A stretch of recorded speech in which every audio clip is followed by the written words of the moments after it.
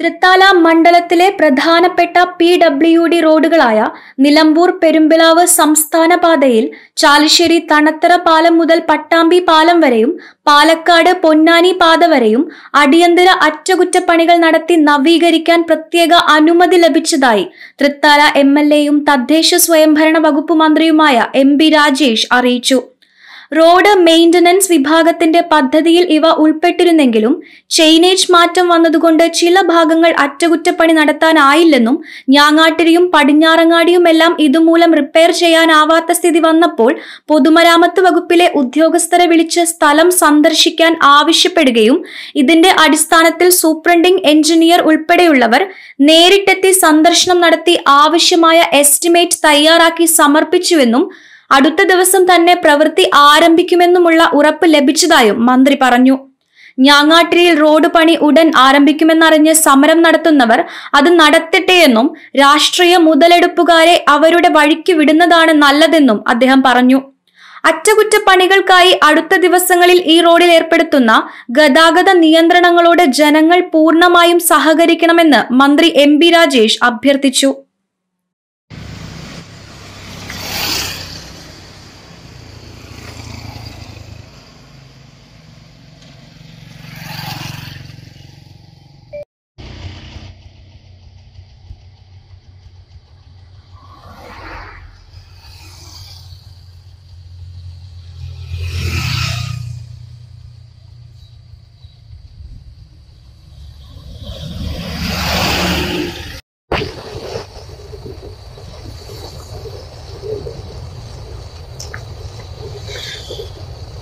ああ。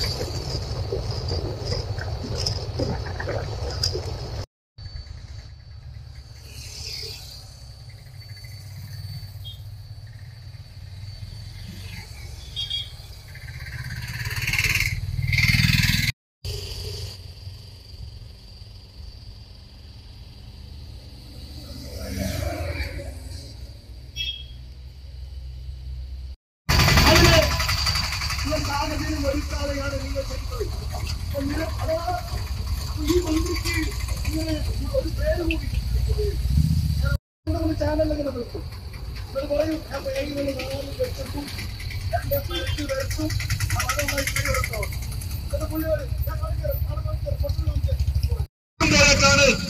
നമ്മുടെ നാട്ടിലെ rubberise road കണ്ടത്. നമ്മൾ തൃത്താല പടിഞ്ഞാറങ്ങാടി അതുപോലെ തന്നെ കൂറ്റനാട് പടിഞ്ഞാറങ്ങാടി. അങ്ങനെ